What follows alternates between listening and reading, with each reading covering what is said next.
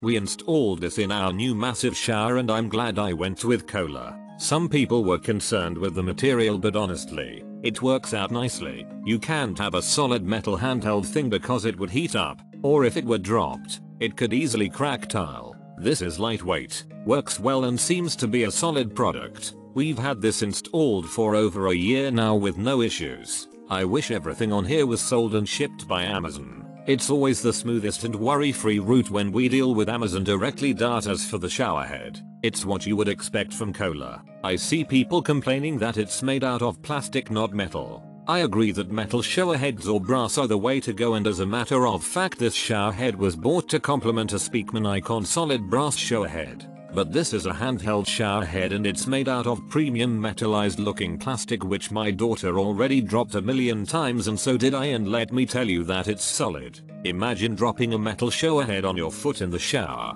One that size will break your foot. My favorite hand shower so far. Good quality. Excellent spray adjustment. Suggest flipping downward and back after usage to drain water. Every 2-3 months soak in white vinegar to clean out calcium buildup. I have 3 of these and I'd buy them again without hesitation. Consider buying the 72 inches hose opposed to the 60 inches. You also have to buy the Kohler K1139739 cradle.